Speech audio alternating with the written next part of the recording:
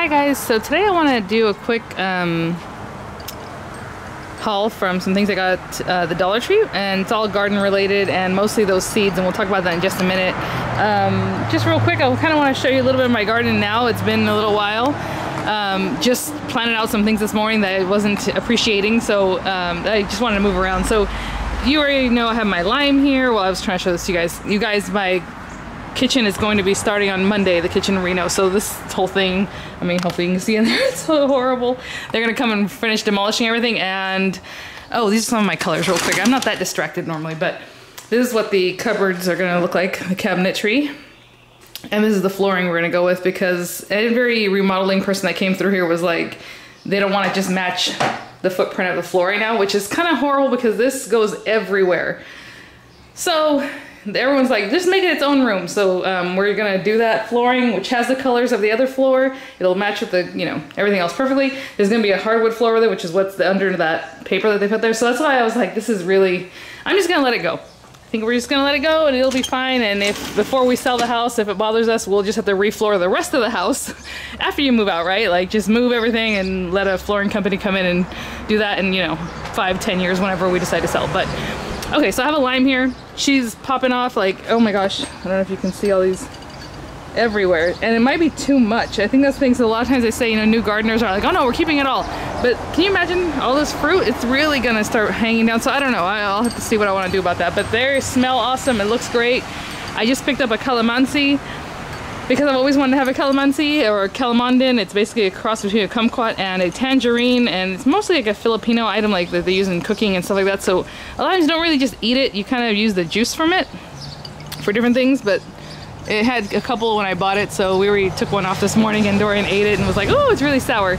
Um, you know, so I had to trim it up because it had some runners and anyway. Uh, pink lemonade, Meyer lemon, I believe it's a variety of Meyer lemon. Um, I want to show you the biggest one I have right here. Oh, I don't know if you can see her. There she is. So cute, but she is actually doing really, really great. Like the, her stems or her branches are really sturdy. So whatever little fruit is coming up, I think it'll be fine. There's a whole little bunch right here too. Um, I'm not going to go through all of them. This is a tangerine. This is a dwarf honey mandarin. And she's getting her little little ladies on there. Hopefully you can kind of see those. And just going off again. So that's why I'm like, I don't know, some of these you have to kind of prune back. This Meyer lemon didn't look that great when I bought it. And to be honest, I don't even know why I got it. It's a dwarf Meyer. I wanted a Meyer lemon, but I don't know why I chose this one.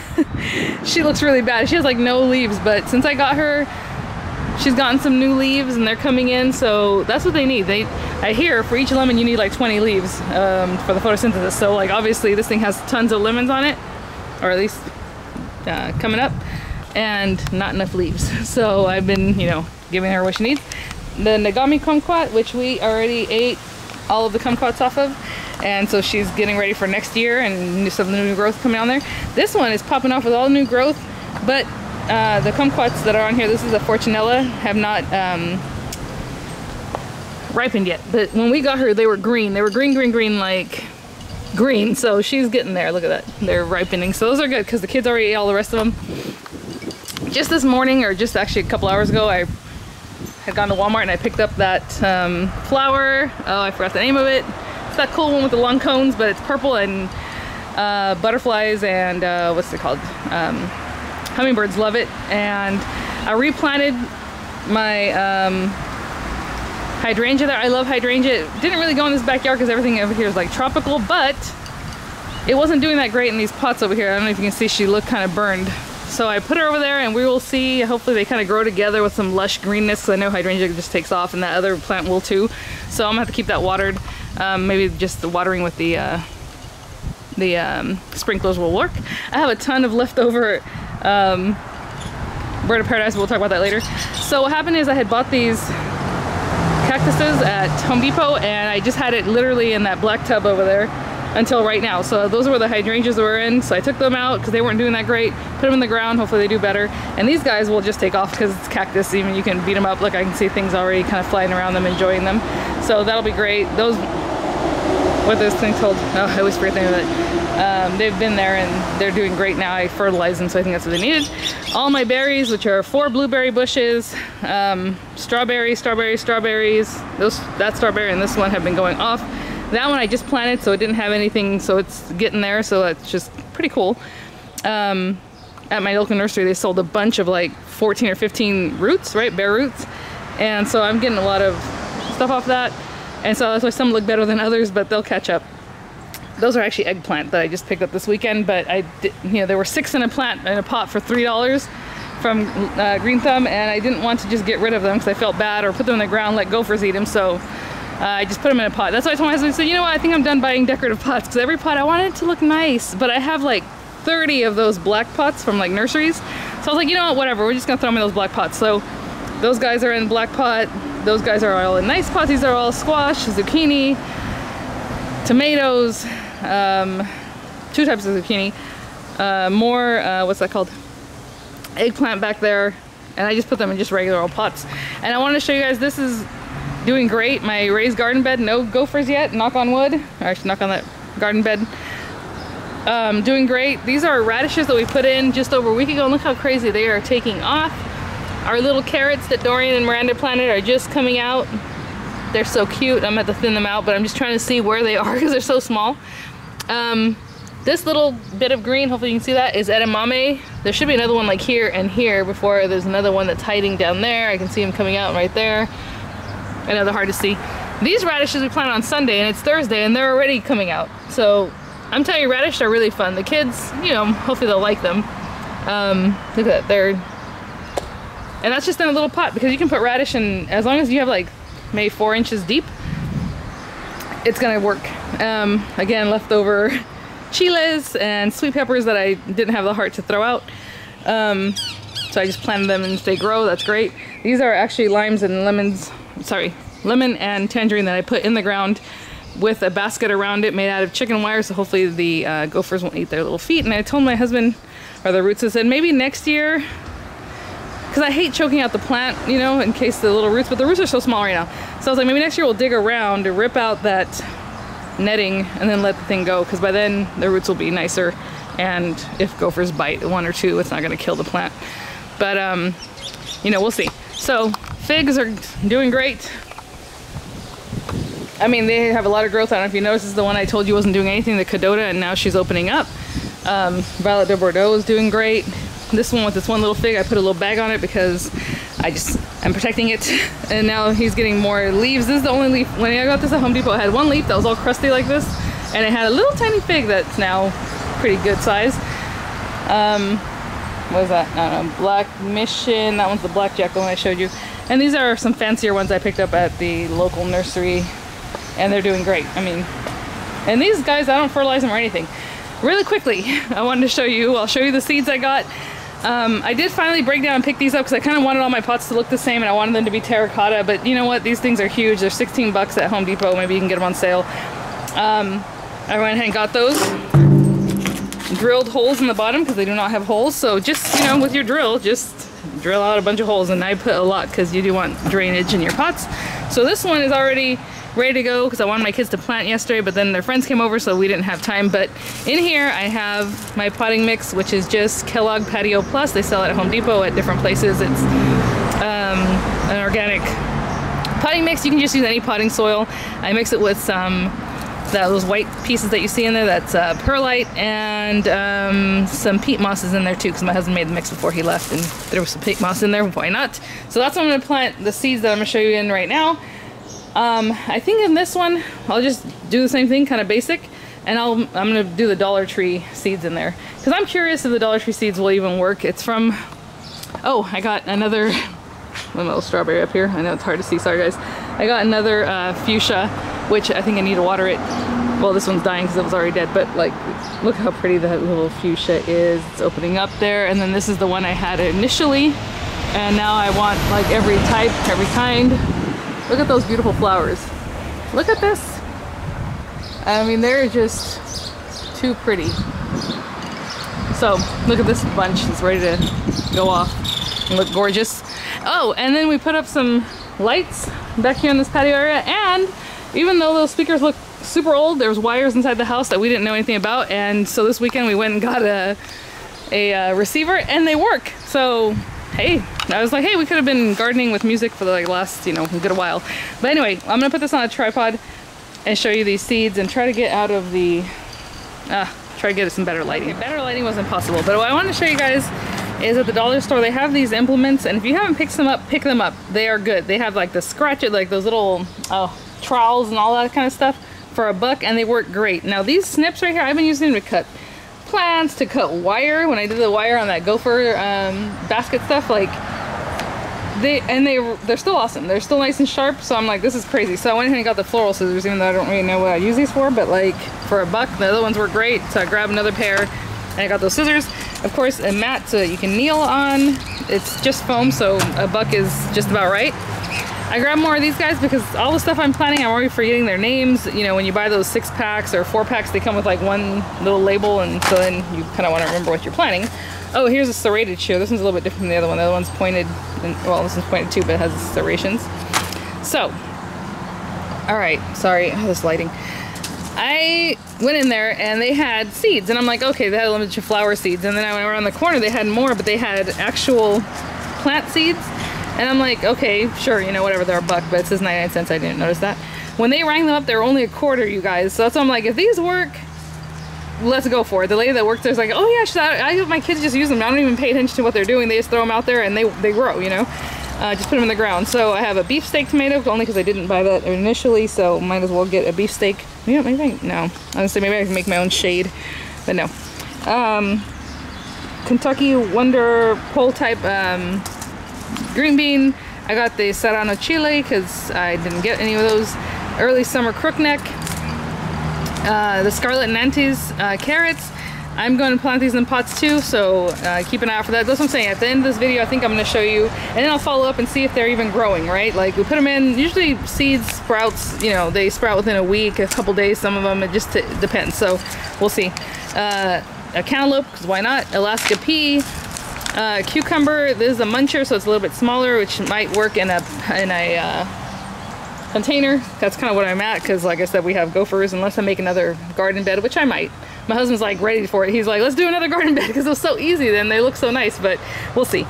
Uh, Danvers half long carrots because they're shorter and you can put this in a container. Guys, I'm telling you, you just pop these in just like I did over there in the raised bed. Just, you know, just right under the soil and just water them and they're going to come up. Um, early Scarlet Globe radish. I have the watermelon sugar baby, which is another small guy. You can put them in a container. Uh, purple top white globe turnip, because why not? I want to try turnips. Roma tomatoes because I never got a Roma and I, that's my favorite type of tomato. Um, obviously I'm not going to plant all these, but you can cycle things through also. When something's already grown and it's kind of at the end of its little life, okay, put something else in, especially in California. So we can plant in California, I think it'll tell you here, from March through, uh, well, okay, this one's September through February because it's a little cucumber. I should have probably gotten this in the ground already. So I'll have to wait until September. But we have two growing seasons basically. It's like March through May and then again like September through October or whatever, something like that, because it's just that way out here. um, I have the garden green bean, with the top crop heirloom variety, uh, the straight eight cucumber. Um, this is a spinach, because why not? I've never tried planting my own spinach. Uh, sugar snap peas, which are my favorite. Uh, sparkler white tip radish. I might end up getting two of the same thing. Like I think I got another one of the cantaloupe because I wasn't sure. I was like, did I get the cantaloupe? And I, anyway. Grand Bell mix uh, peppers. These are so cute because it's going to be a different mix of colors. I like things like that. It's kind of fun. Hale's Best Jumbo Cantaloupe. Sweet Basil Herb. Again, I'm just going to throw that in the ground because that just takes off on its own. Yeah? Uh, I'll close the door. She came outside and didn't close the uh, screen door. Uh, mixed color Swiss Charge with Swiss Chard, which is so pretty. I've seen people grow this and it looks so gorgeous. The California Wonder Pepper, which I already have in the ground anyway in my raised bed. Uh, table queen acorn. If we can grow a squash like this, that'd be really fun. Uh, I got the early yellow straight neck, so I usually get a crook neck squash, so I thought I've never tried this one, so I'll get that going. And then the giant noble spinach, which is like a regular spinach. So all those were a quarter, you guys. So I thought I was gonna spend what, like 15, 20 bucks. I don't know how many packets I have there, and it ended up being like three or four dollars, which is ridiculous. I've been buying seeds, you know. It's not that seeds are super expensive, they're not. But sorry, my daughter wants me to open something. Um, you know, they're still two or three bucks a pack sometimes. Sometimes they're, you know, a little cheaper, but you might find them on sale, or maybe at Walmart they might be cheaper, I don't know. Um, I did want to show you really quick. Miranda, I can't get this open right now. One second, okay? Let me do this and then... I can open it. You can open it? Okay. So I had gotten these at um, what's it called? What's that place called? Home Depot. So these are carrot tender sweet and they're supposed to be kind of small. So that's why I like to put these like in the pot. So they're only $1.58. I got these even though they're different colors and mixes. I'm not sure if these are gonna work for me in a pot, but a very deep pot, it might work.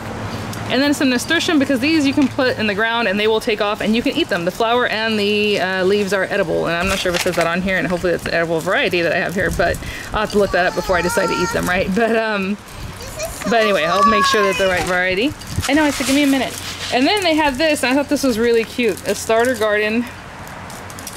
It says, uh, it comes, uh, it's a salad garden, so it's from Burpee. It was only $3.97, so basically a dollar a pack.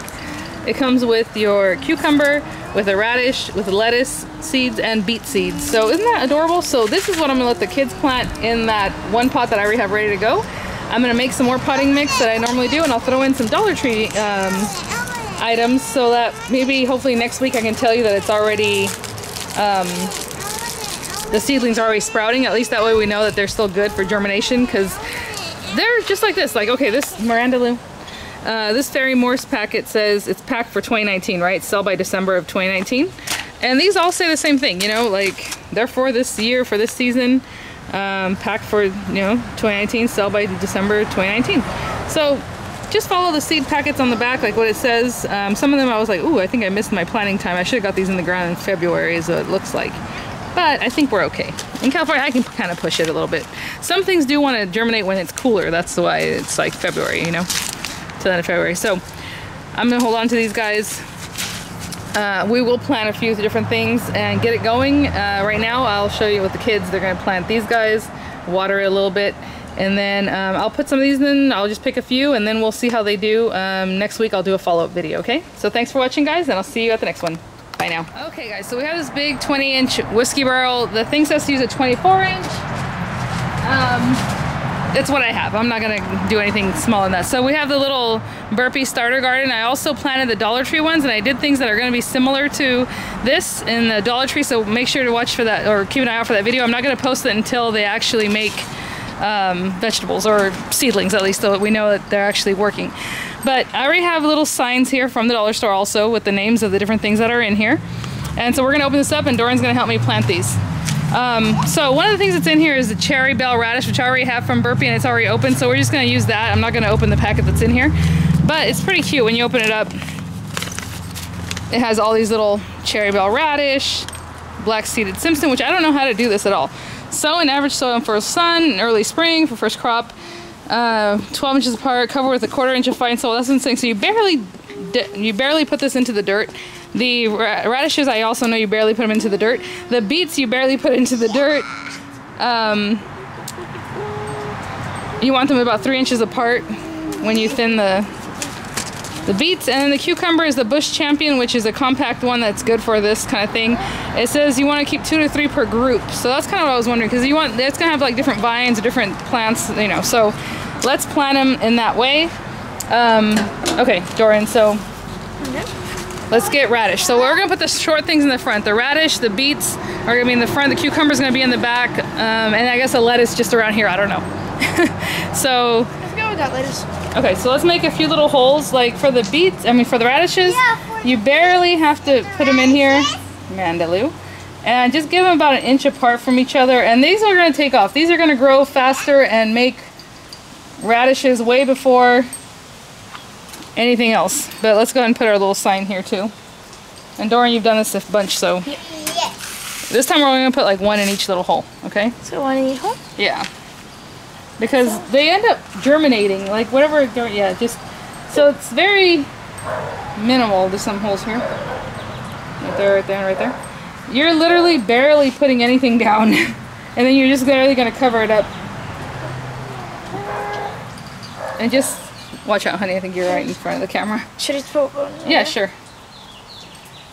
I was gonna tell you these are the easiest thing and uh, maybe I'm making it too easy now and then I'm gonna end up not planting them right, huh, Dorian? but they're good. And these will start sprouting in just a few days. Okay, okay, that's the radish. Trying not to cover um, too much. Okay, let's do the beet next because I don't know exactly. You want to do the beet? Okay, this one needs to also be a half inch into. I brought scissors out for a reason. And I still didn't use them. Okay. All right, Mando. Well, let's see. And I already pre-moistened this um, soil. Um, Where are the seeds? yeah. Beets. Okay, Mama. So look, I'm gonna make a little hole with my finger. Can you put them in there? Uh, hold on. I already got the little hole. I need you to take one of these little weird looking things and drop it in the hole. Here. Doran, you can help. They her. do look pretty weird. They're interesting, huh? Okay, one more.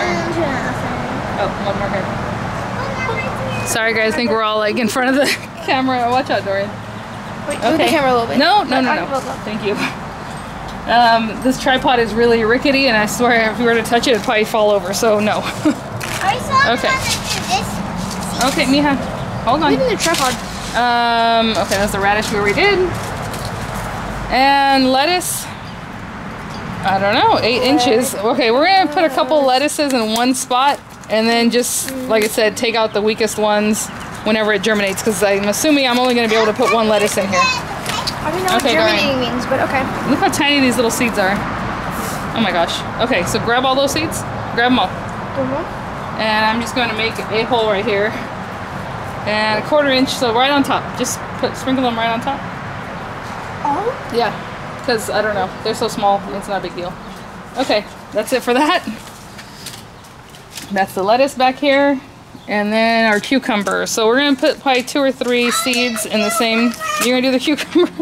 she goes and gets on the uh, the thing called the hammock, and then it's like, oh, I gotta come right back to this. Okay. And the cucumbers, Mama. How far do they need to be apart? Um, they kind of need to be near each other. So let's just. Can you move over here, Dorian, so you're not in front of the camera? Amanda, go ahead and put it in, Mama. We'll just put in a couple. Put it right next to where she put that one. Okay, and that's it. So I'll just do some light watering on top of this. And, yep, go ahead.